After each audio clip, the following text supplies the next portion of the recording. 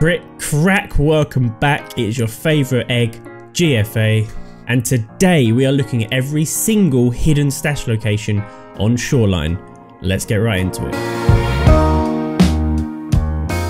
Before we start, in the description you will find a link to another video that I released today that accompanies this one about how to make a lot of rubles in Escape from Tarkov using these stashes and uh, scav runs around this map. So make sure to go check that out if that interests you.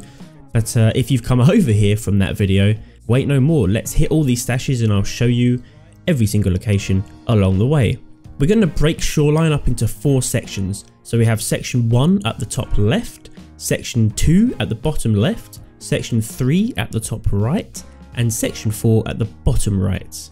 I've put some timestamps on the screen to let you know when we will be hitting each area in case you are currently in raid or you're looking for a specific stash in a certain area. We're going to start here at Svietli Dead End Extract and then head north along these fences until you come to a group of buildings right on the edge of the village. In these group of buildings you'll see a house with a sign on it and you'll find some flower bed looking things. You want to head to the fence where the swamp meets the village and just below this bush you will see a buried stash with some leaves on top. We're then going to head north along this road towards the sunken village.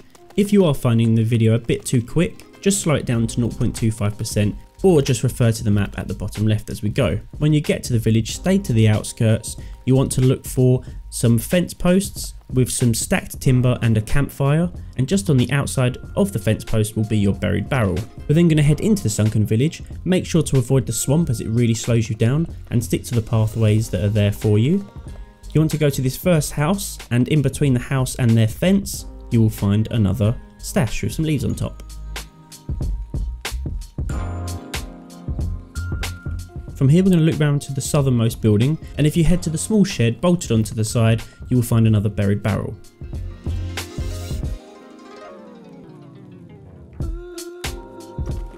We're then going to head over to the church. The church is the easiest building to find as it's quite large and it's a church. So if you head inside and then out the right door, you'll find a fallen fence and a destroyed house. Use the fence to jump across the swamp and you'll find your buried barrel in the other corner.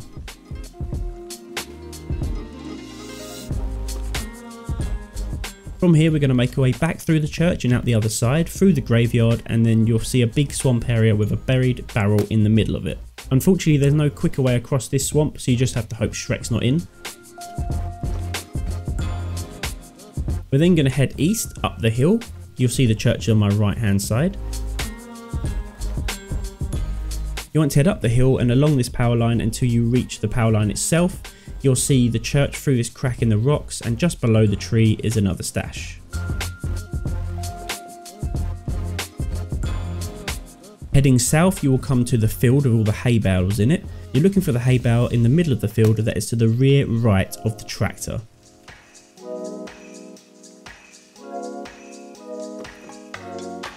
Moving on to the campsite that is next to the resort, we're going to head directly east until we find ourselves a road. From there, head up the hill. You can see here the field that we just came from. We're going to head up the hill and on top of the hill you'll find a tent. You want to head to the rear right hand side of the tent and just below the tree you will find another buried barrel. We're then going to make our way over to the resort itself. Once you reach the signpost, take a right into the bus terminal. We're going to head straight through for now and go back down the hill, keeping the perimeter wall to your left. You'll find a pile of rocks with some ferns and some white and green shrubs and just down here there's another buried stash. It's quite hard to find so make sure you slow down the video.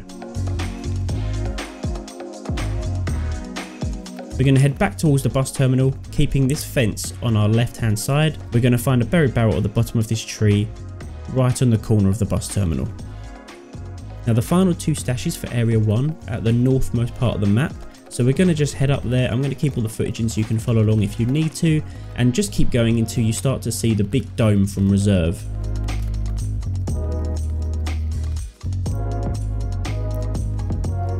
Now once you reach this area, you will see the dome on top of the hill, you will see a crashed drone, and you'll see a huge rock. Head around the back of the rock until you're in between the rock and the perimeter wall, and just down here you'll find a bush with uh, another stash. Finally, we're going to head east until we hit the fence Now you can't actually make it through this fence so don't even bother trying. I'd also recommend not trying to jump over like I did here because I broke my legs. If you just head along the fence you'll find an opening at the bridge. Take that opening and then run back along the water keeping the fence to your left and the water to your right. Once you reach the tree you actually will run into an invisible wall. The only way to loot this dash is by going prone, but you will find it at the bottom of the tree. And that will complete area 1. Let's move on to area 2. We will be starting area 2 at the very bottom right near the fuel station. The first stash is on the beach between these metal huts. You really can't miss them as they are the only huts on the beach. You'll be able to see the stash underneath, it's in the westernmost little hut. From here we're going to continue heading west along the beach, keeping the water to your left and the land to your right, until you hit a sewer pipe and a billboard. To the right hand side of the sewer pipe is a group of small rocks and just by these rocks is another buried barrel. Continuing west we will come to Scav Island. Now the only way onto Scav Island is across this big boat so run across until you reach the land. And as soon as you get onto the island you will see a shed and some hung up washing of some sort. At the back of the shed between the stacked timber you will find another buried barrel.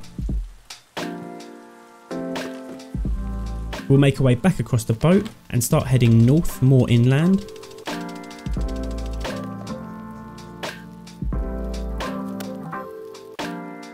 Until you come across this destroyed house with this large pile of rocks. Right next to these pile of rocks, you'll find your next buried barrel.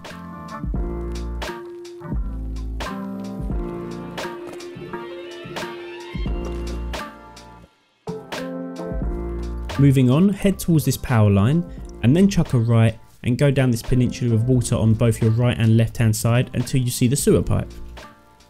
On the very edge of the water you will see a bush and a stash in the bush.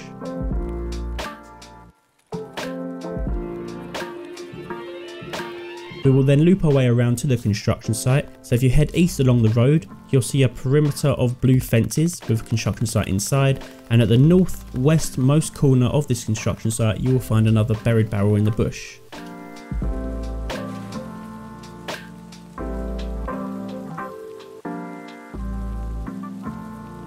Leaving the construction site, we will head west into the village towards Svietli Dead End.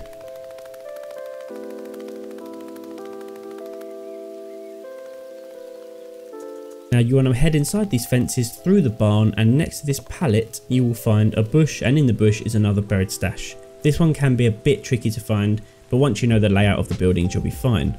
For the next stash make your way back out to the main road until you see this green van and destroyed car and if you keep heading down the road you will see a truck and some blue fences with a dumpster in the middle. The next barrel is next to the dumpster. From the dumpster just head across the road to these large cinder circle block things, I don't know what they're called, and uh, inside one of them is another buried barrel. Finally we're going to make our way towards the Svietli Dead End extract, keeping the perimeter fence on your left and the village on your right until you see the trailer for the extract. To the rear of the trailer there is a bush and in that bush is the final buried barrel. Okay, let's move on to part 3. We are starting part 3 at the northmost part of the map near the North Fence Passage extract. This one's a little hard to describe so you might have to refer to the map and the surroundings in the video. But just below these power lines there's a big gap in the rocks on the perimeter and between two bushes is another buried stash. From here we're going to make our way directly south towards the resort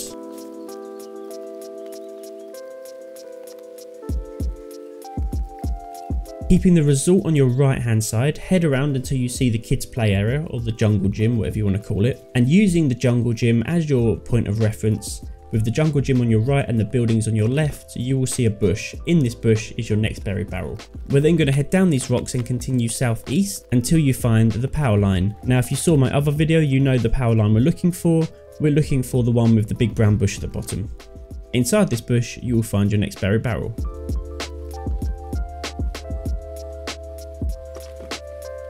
We will continue along the power lines to the east until you reach the next big power line and the small hill. On top of this hill, next to the tree, is your next stash.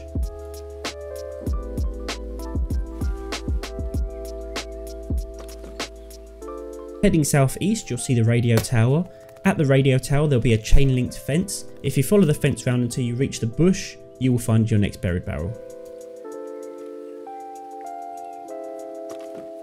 From here we want to head northeast until you see the railway, follow the railway until you reach the perimeter wall and just where the perimeter wall begins to curve you will see two trees and two large bushes.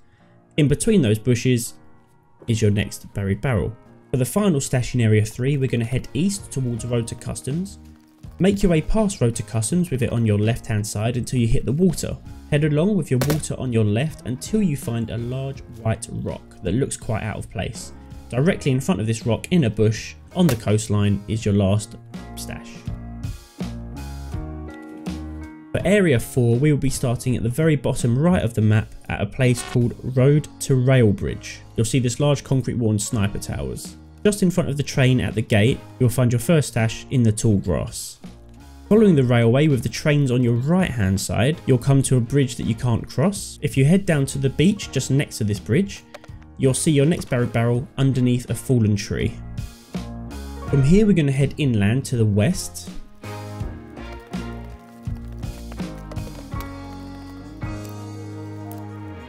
Until you see a large rock and a destroyed house.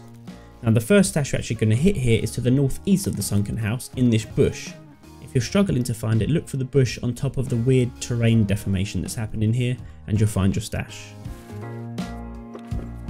Head southwest to the sunken house and on the eastern corner you will find your stash. That's the stash we just came from over there. And here's the new one. Make sure to check around these stashes as I actually found a piece of PACA armor just chilling on its own. From here we want to head southeast until you find this small signpost. It's quite hard to find, it looks more like a gravestone, but just next to this signpost is a tree and by that tree is your next barrel. Carrying on past the signpost, we're going to head southwest until we find this very large rock. At the bottom of the rock on the easternmost side, you will find a buried barrel just sort of chilling in between the little crevice here. From here, head south towards the crane and construction site here. And make our way inside these blue perimeter walls. Behind this small office building, amongst all these tyres and next to this portaloo, you'll find a buried barrel. We're going to make our way along the road towards the west until we find another sunken house. If you head slightly up the hill from that sunken house, you will find a pile of rocks and another bush with another stash in it. This is actually the stash I found the slick hiding in in my last video.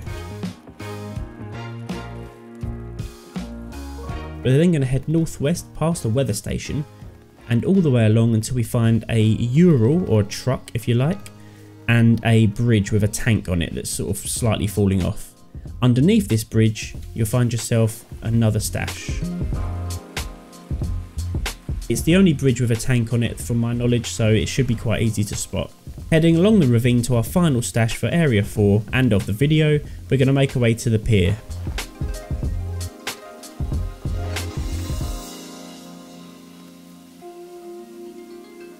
Head onto the road, across the bridge, and then down towards the pier. There's only one way on and off of this area, so you can't really miss it. Head past the big building towards the boats, and then you'll see this small lighthouse. Now, beneath the pathway to the lighthouse to the right hand side, you will find your last barrel. If you're interested in seeing another one of these tutorials, leave a comment down below on the map you would like to see next, and maybe consider hitting that subscribe button and notification bell so you don't miss when that video gets dropped.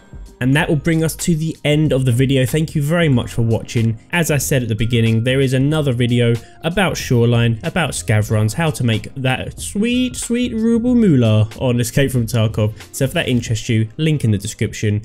If you liked it, please consider hitting the old like button. And if you didn't like it, the dislike button to let me know. And if you're new around here, I'm GFA. Please consider hitting the subscribe button if you think I've earned it. And until next time, I've been GFA, you've been great. Peace out. Who's that? Can't tell.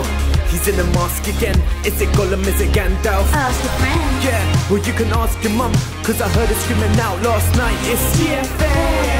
And we don't hydrate, we don't posture check, cause we want that cake. The time